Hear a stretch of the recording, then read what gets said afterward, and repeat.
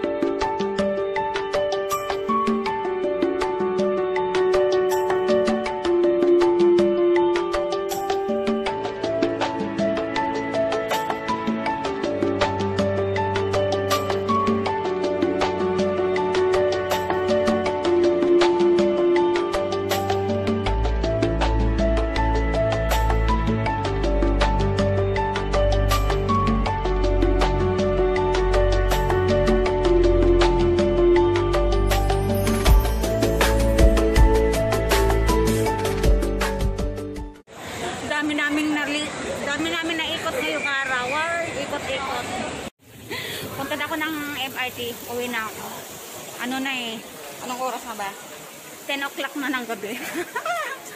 10 o'clock na ng gabi. 10 o'clock na ng gabi. Kaya yan. For today, maghapon kaming nagpaka gala, gala, yun. Doon sa loob ng mall, hindi ako gaano makapagsalita. Gawa na nga mong may mga music background. Mahirap na. Diba? Bye!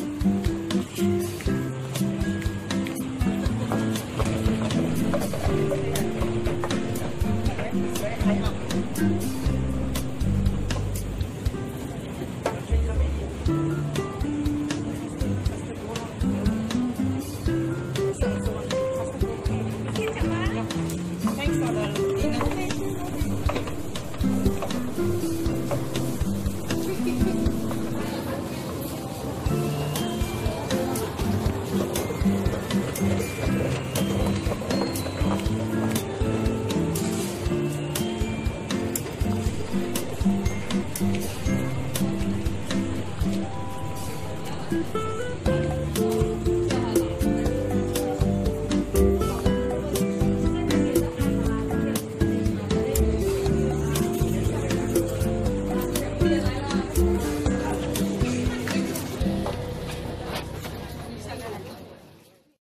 naglalakad ako papunta na sa amin. Ngayong gabi na. Yan, building na yan, bahay na namin. Natatakpan ng mga puno kaya hindi makita ang lahat. Yan, oh, yan ang bahay na namin. Dito ako nakatira. Yan.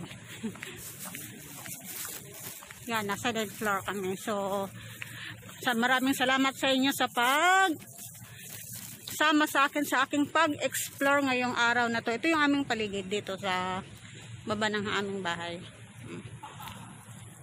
So ito yung aking explore, explore sa maghapon. Thank you so much guys. Kaya please subscribe sa my YouTube channel and click the notification bell para lagi kayong updated sa aking mga newly uploaded the video. So maraming salamat guys. Thank you so much. Bye!